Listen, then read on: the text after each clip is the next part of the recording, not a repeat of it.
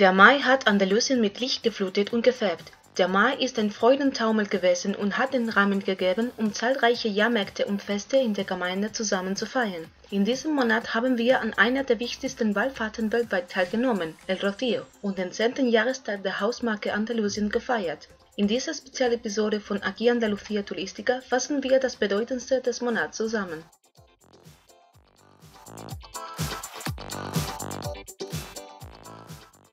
Wir fangen im Mai mit dem Besuch eines der farbigsten Schauspiele von Andalusien an, das Fest der Patios von Córdoba. Es ist ein bedeutender Tag im Kalender tausender Touristen, die aus erster Hand bestätigten, wie man sich um jede Einzelheit kümmerte, so dass ihr Aufenthalt in dieser Stadt der Kalifen eine einzigartige Erfahrung wurde.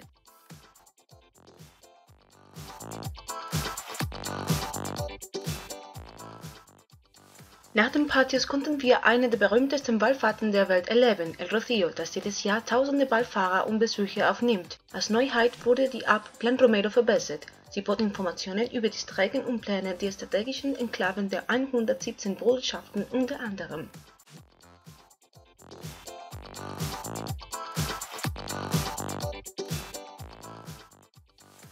In der zweiten Hälfte des Monats setzten wir die Route der andalusischen Jahrmärkte mit dem Jahrmarkt des Frontleichnams von Granada fort. Hier konnte der Tourist tagsüber wie bei Nacht Spaß haben. Es gab öffentliche und auch private Jahrmarktsbühnen, in denen der Besucher freien Eintritt hatte.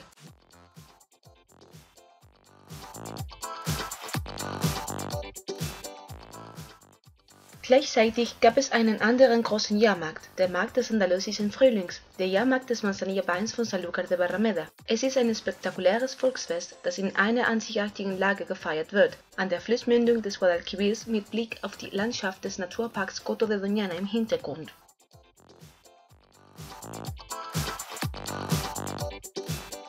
Auch im Mai wurde der 10. Jahrestag der Hausmarke Andalusien gefeiert. Deswegen zeigte sich die Stadtgemeinde von Torremolinos in der Provinz Malaga in vollem Glanz, um die Entstehung dieses Merkmals, mit dem die Gemeinde größere Anerkennung auf dem nationalen und internationalen Tourismusmarkt erlangt hat, zu feiern. Eben deshalb nahmen wir an einer europäischen Tour teil, in dem ein Bus die Hausmarke Andalusien durch verschiedene Städte von Deutschland, England und Frankreich trug. Und dank einiger Aktivitäten wurde ein Teil Andalusiens in diesen Städten bekannt.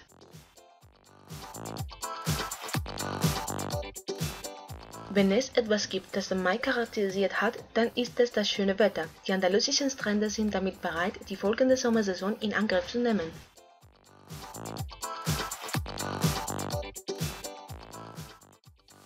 Letzten Endes spielte der Mai die Rolle des Beginns des Sommers und Andalusien zeigte sich von seiner besten Seite, um die tausende Besucher aufzunehmen, die die Gemeinden besucht haben.